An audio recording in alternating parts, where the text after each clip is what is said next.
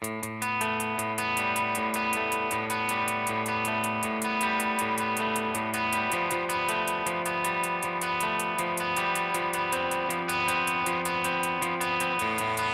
my car last week. Checked the rear view, kept on driving. Our cars are fucked. Fuck! Wait for the tolly and reach for the wall.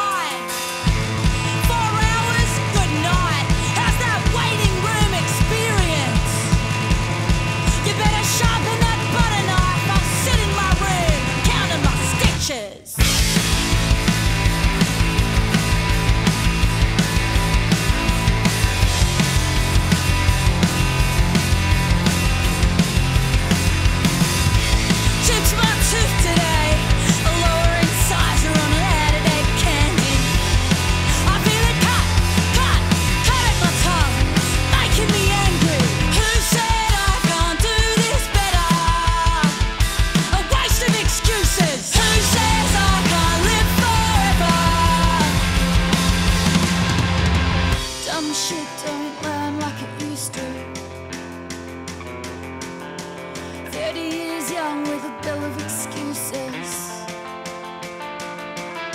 I listen to news instead of.